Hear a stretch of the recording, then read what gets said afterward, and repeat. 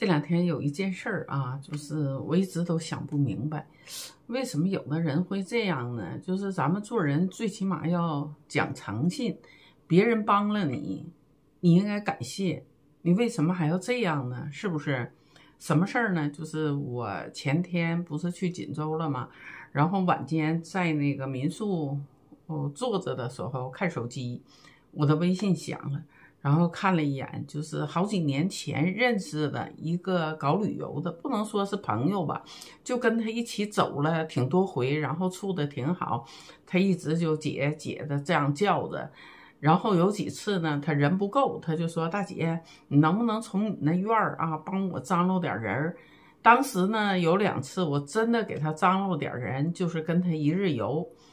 呃，在这个过程当中呢，我并没有说特意把谁介绍给他。后来有一段时间呢，我就不跟他走了。为什么？那段时间我腰特别不好，所以呃，坐那个大客时间长了我受不了。如果我想出去旅游，我一定坐卧铺啊，这样有机会有时间能躺着。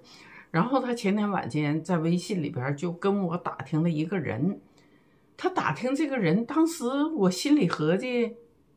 他们两个会有什么事儿吗？然后他就问我这个人还在不在我们院儿住？我说他给房子卖了，人已经搬走了，他去哪儿了？我也不知道啊，很长时间也没有联系了。然后我说怎么了？他说姐，我是通过你认识他的，嗯，然后呢，他管我借过钱，借过钱以后哈，呃，要了很多回，这个钱才还给他，当然不是很多，但是后来呢，他又说。呃，能办什么什么事儿？所以这个搞旅游的这个朋友呢，就托这个人给办事儿。结果这个事儿，大家你们都想不到，办了多久啊？办了四年，这件事儿也没办成。那你没办成，你把钱退给人家，对不对？结果事儿没办成，钱到现在也没退完。呃，五千多块钱退给人家三千，据那个搞旅游的那个朋友说，还欠了两千多块钱。其实并不是什么大的数目啊，但是呢，你想这几年，特别是疫情那三年，就是现在各行各业挣钱都很难，所以他跟我说，他说大姐，你知道我挣点钱多难呢？一天啊，起早贪黑的，你要说钱多吧，还不多，但是就这些钱。最起码也足够我，呃，挣个十天半拉月的。他说，我就想不明白啊，呃，本来彼此都挺相信的，为什么就会出现这事儿？到现在这钱还没还完，然后呢，呃，就左一次打电话，右一次打电话找他，总说今天还，明天还，结果一直拖到现在。听了他这个话之后吧，真的我有点多心了，所以当时我马上就说了一句，我说我只是。嗯，带他认识了你，但是后来你们这些事儿，你也并没有跟我说，是不是？我也不知道。然后他说啊，姐，我没有埋怨你的意思，呃，所有的事儿都我自己负责。在这之前，我又没有说通过你打听一下，觉得他那人挺好。其实呢，呃。人都是挺好，生活当中肯定是遇到困难了。如果不遇到困难，可能谁也不会这样。那既然你遇到困难了，人家帮助你，你是不是就应该感谢感恩呢？即使你还不上，你应该有个日期。呃，就说到哪儿做到哪儿，说什么时候还就什么时候还。你这样吧，哈，你让别人心里很不是滋味儿。那位搞旅游的朋友就说：“大姐，我真的就想不明白为什么会这样。”我说：“你想不明白，我也想不明白，我也想不明白他为什么会这样。真的就是当下有些家庭啊，是因为孩子的原因，因为孩子。”嗯，不好好工作，然后呢，有一些恶习，就造成父母哈也跟着陷入到那个泥坑，东家借西家窜的啊。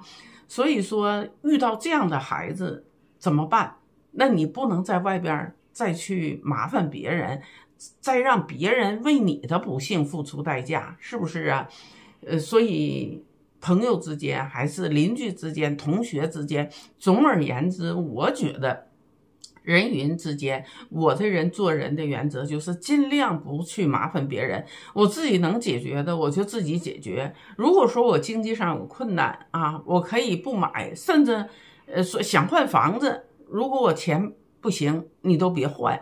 你说这个时候，你这家借几万，那家借几万，人家心里都没有底。